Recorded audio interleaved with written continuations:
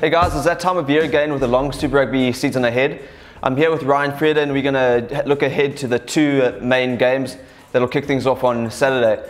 The main match obviously is the Lions versus the Sharks and yeah, um, big one. Yeah, probably the, the main talking point that uh, we're going to have a look at is the, the debate Curwin Bosch versus Rob du Preez in that number 10 jersey.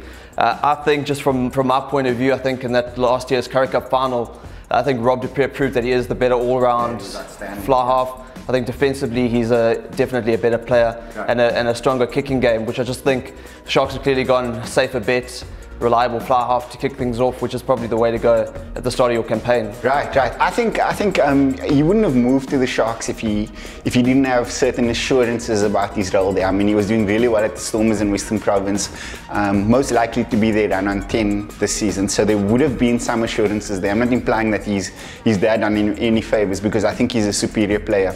Look, I, I don't think I don't think Bosch. Um, is quite is quite there at the moment. Um, there's legitimate concerns around his around his defense. I think he has made some improvements on that front, but uh, but I think conditioning wise, he's going to have to get bigger and stronger if he really wants to have a long and successful career.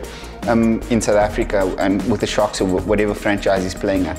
Overall, I agree with you. I think I think uh, I think du Preez is a better all-round player. Um, I mean, if you if you're comparing them um, in a Super Rugby context in terms of the key performance areas that you need for success, du Preez is ticking more boxes for me than Bosch, and I, that's really where we are at at this point. Don't get me wrong, Bosch is a great attacking player. I really like um, aspects of what he does in attack, yeah. but at this point, du Preez for me. Yeah, I'd agree with that, and I think the fly battle would be very interesting, but. Um, it's also worth noting that it, uh, it's a rematch of last year's quarterfinal, and uh, in, in that one, the, you know, the Sharks really threw the Lions off their game with their pack fronting up and the defence was really outstanding. Yeah. Uh, and that kind of made the Lions look a little bit uh, you know, weaker than, than they had been all um, season. The Sharks were very unlucky to lose. And I think, again, it'll be a similar template for the first game up. Stick to those um, strengths that we know the Sharks have with their, their forwards and, and that defence and maybe to try and go that route. Uh, for me, I don't quite have the courage just to back the Sharks uh, at Ellis Park, and I think maybe the Lions will edge it five to ten points. I mean, that's my prediction. I don't know where you're at. Yeah, I'm, I'm, I'm the Lions by seven at this point. I don't think the Sharks are going to get steamrolled in any key discipline um, of forward play. I think the defining facet of this game is going to be the gain line, um, particularly because it's early on in the season, and that's kind of the most predictable aspect of the game um, at this point. Yeah. Um, just because the guys will still have rest and they're trying to work through that. So I think that's where the game in the forward department will be won and lost. And I think the Lions just edge them there. Yeah. Um, I think another defining um, facet of the game is going to be goal kicking. And if you look at those two, the gain line and goal kicking, I think the Lions edge it in both departments. Um, so I see them coming out by seven. It's not going to be pretty, yeah. Um, but I think they will start the season off with a win. Yeah, very interesting to see, um, see they named their team without a recognised uh, backup scrumhalf. But I think let's move on to look at the other the big game, uh, Stormers and uh, the, the Jaguars. Um, yeah, here we go again. Um, I think you know just the Jags have been really disappointing. I, I, think you might agree, just in terms of the way they've performed since joining the competition. But then looking at the Stormers and can't uh, you know really overlook that playoff record that's been so poor for them. They've lost uh, eight out of nine playoffs since the the tournament's inception, and we here we go again. Can they change that? It's probably hanging over their heads and a real question mark. You know, I think they've got a decent, uh, settled uh, squad, but they're definitely going to miss Eben Etzebeth uh, you know, for the first few weeks, and that's yeah. probably going to be a bit of a problem area for them. Uh, I think they probably should have enough to beat the Jags first up. But I think, uh, you know, I'm, I'm a little bit unsure of what quite to, to make of them for the rest of the, the campaign. I think for this game, I'm going 10 to 15 points. They're going to win it.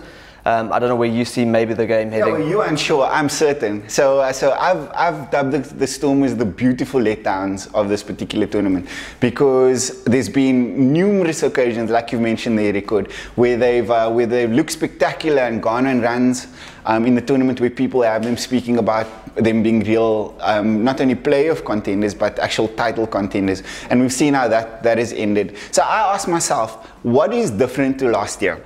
Have they recruited any superstar players that are going that, that, that are going to elevate the, the, the level the Stormers play at? No, they've recruited um, Raymond Rhule um, in in a roster that already has uh, that's already laden with wings. I don't think they needed him.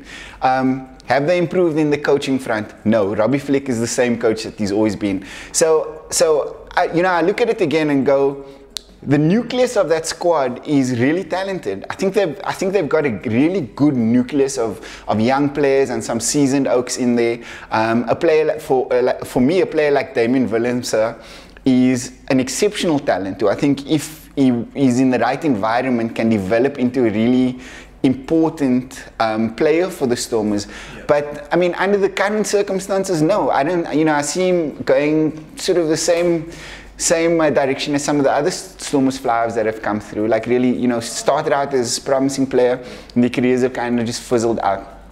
So if I was Damian Willemse, I'd be considering my future even now. I don't see any um, sense of optimism for, for the Stormers or their supporters. Look, they'll fill out the stadiums. It'll be a great gears at the at the grounds, and they'll beat a couple of teams like the Jaguares, who also agree they'll do by. I think they'll do them by 15 to 20 at, at home, um, just because they they're hopeless, um, especially on the road.